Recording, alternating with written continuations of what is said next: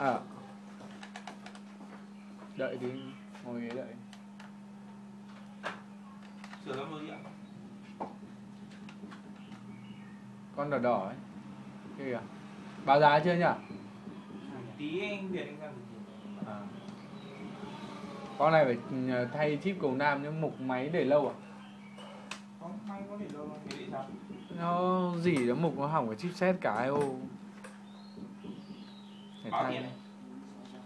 Hàng xóm bình thường ở đấy 5 lít hàng xóm này 4 lít thôi nhỉ? Đúng nhỉ? 4 lít. Sửa mất nhưng con này phải sửa mất gần tuần. 4 hôm. Năm hôm.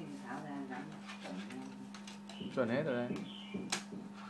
Con này mục hết rồi. Thấy tháo ra gãy vỡ tứ tung tự tháo ra ra việt ông việt ông tháo